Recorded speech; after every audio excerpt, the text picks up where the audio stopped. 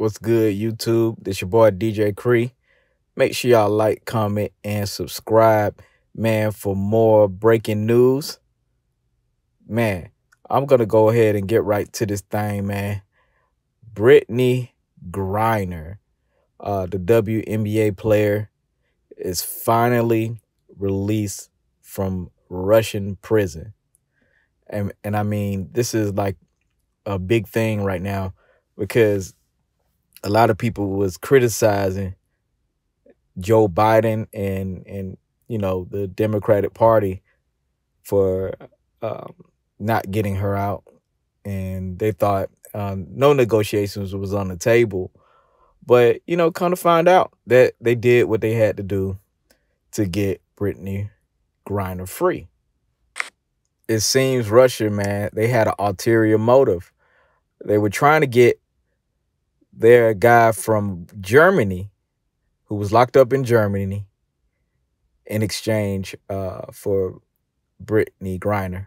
But instead, they exchanged him for the Russian dealer, um, the Victor guy. So, you know, this just goes to show you, you guys don't know what's going on in these negotiations behind the scenes, man. And sometimes we have to shut up, stay cool, you know, protest, of course, and, and voice our opinions, but also know it's a lot of gangster stuff going on behind the scenes that we don't know about. So, you know, everybody needs to be thankful that we got Brittney back. You know, there's other people who are stuck in Russia right now, in, behind bars. And you know, the thing about that is some of these people have been locked up. You know, we're in a war. Well, Ukraine is in a war with Russia and we're supporting Ukraine. So y'all have to think about the ins and outs of the politics.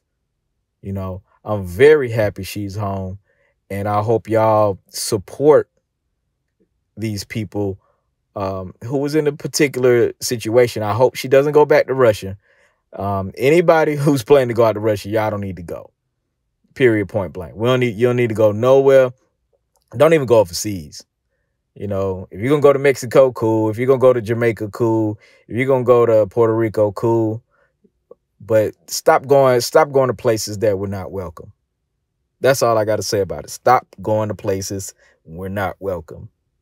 Because at this point in time, they're gonna do anything to actually lock you up and then try to negotiate some kind of deal with America. So you don't want to be the pawn, the pawn on any of these situations.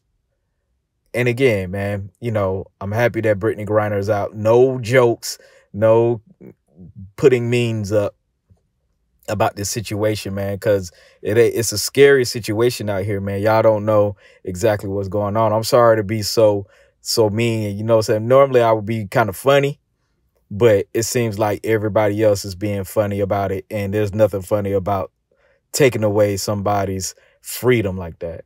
You know, and um, maybe I make some jokes later, but I wanted to come on here serious, man. But let me know what y'all think about this, man. You know, make sure y'all like, comment, and subscribe. Tell me why y'all like this um, or tell me why you don't like it. Do you think it's a fair deal? Do you think it's a fair trade? I don't think at a time of war there's anything there's no fair deals, you know what I mean? Sometimes it's going to be lopsided, especially if some of our people go over there and, you know, get caught up in something. But anyway, make sure y'all like, comment, and subscribe, like I said before. And um, I'm going to come back with you with some more videos, man. Yeah.